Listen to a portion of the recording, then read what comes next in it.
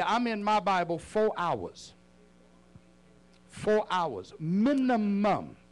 Sometimes I get in there at 8 o'clock in the morning. I stop at lunch, get something to eat. I'm back in it. By the time my dog and I throw the ball, I'm back in it. We throw the ball again, I'm back in it. And then finally, God says, Go to sleep. And I have to tell him, But this is too good. What I want to know from you is what kind of relationship do you have with the God you serve? Because some of us in here may not be serving the same God. Uh, uh, somebody open up the door so I can run. Let me get my car keys. Amen. Normally, I have one of my deacons with me, and they have the keys. And when I get done, I tell them, start the car. It may be chased out of here. Amen. What I want you to know is, ladies, ladies, how many have had a very good relationship in your life? Say amen. amen. Okay. Men, how many of you have had a very good relationship in your life? Say amen. amen. That should be nothing compared to the relationship you have with God. You used to love to hear him call you and you'd stay on the phone, go to sleep, and hear him snoring and be like, baby, baby, you sleep. Oh, no, no, I ain't sleep, baby.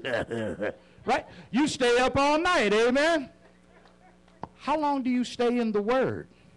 How long do you stay in prayer? How long? Wait a minute now. See, that's everything you're doing to get there. How long do you shut up and listen to God talk to you? See, I've come from that border Louisiana and Texas. And, and we call people alligators.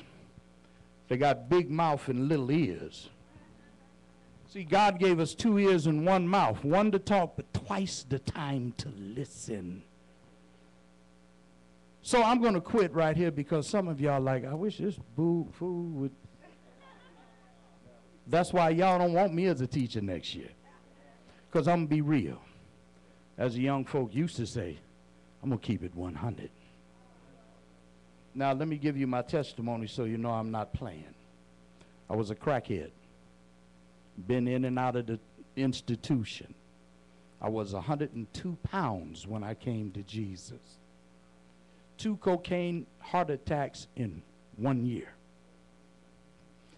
The devil was trying to take me out. I'm the product of a rape. But look at God.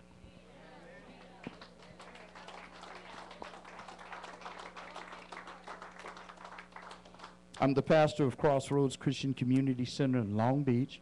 It's a growing ministry. Watch out. Watch out. I stop by here to just tell y'all this. Spend as much time with God as you do on the phone with your friend.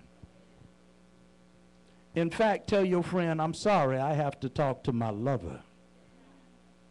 See, the Bible says that God so loved the world. Let me interpret that for you from the Greek, the Hebrew, the Aramaic, the Latin, and the Persian.